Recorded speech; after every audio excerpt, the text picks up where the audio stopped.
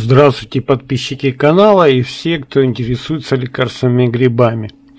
Сегодня мы продолжим с вами ознакомление с лекарственным грибом ксилария длинноногая. И я предлагаю вашему вниманию краткий обзор научных публикаций, посвященные ее противораковой активности. Для того, чтобы посмотреть другие ролики, посвященные данному грибу, необходимо, находясь на моем канале в YouTube, воспользоваться плейлистом «Ксилария длинноногая» или найти их на авторском канале в Одноклассниках. Текстовое сопровождение публикации со ссылками на работы вы можете найти непосредственно по данным роликам.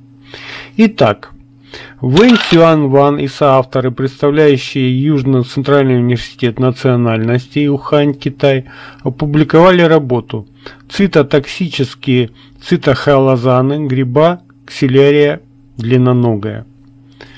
Сообщается, что пять новых цитохолозанов 1-5 были выделены из гриба ксилария длинноногая наряду с семью известными соединениями – это цитохолозином R6, цитохолозином D7, зигоспорином D8, 7-О-ацетил тохолазином D910, 6,7 дигидро-7 окситочазолалин S11 и 6,7 дигидро-7 оксоделацетилина тахолазин C12.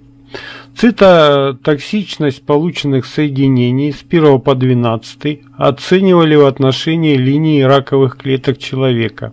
Это следующие линии. ХЛ-60 – это лейкоз человека. А549 – адекарцинома легкого. СМСЦ7721 – гепатокарцинома человека. МСФ-7 инвазивная адекарцинома протоков молочной железы человека, СВ-480 аденокарцинома толстой кишки человека. При этом соединения 6-8, 11 и 12 проявляли цитотоксичность со значением АЭЦ-50 диапазонный 4,17-37,18 мкм то есть проявляли активность в отношении всех вышеуказанных раковых линий. Далее. Китиван Срисукай и соавторы, представляющие университет Хон Кайен и университет Махасаракма, Таиланд, опубликовали работу «Антипрофилеративные поликетиды гриба ксилария длинноногая в различных питательных средах». Сообщается, что биоактивные соединения древесного гриба ксилария длинноногая были проанализированы в различных питательных средах. Были определены поликетиды, включая дибензофуран-1, мелиин-2, дигидроизокумарин 15, 2 пирана 16-17, а также 23 соединения – Соединения за, номерова, э, за номерами 18 и 20 были значительно токсичными в отношении линии раковых клеток. Это следующие линии. ХСТ-116, клеточная линия рака толстой кишки человека.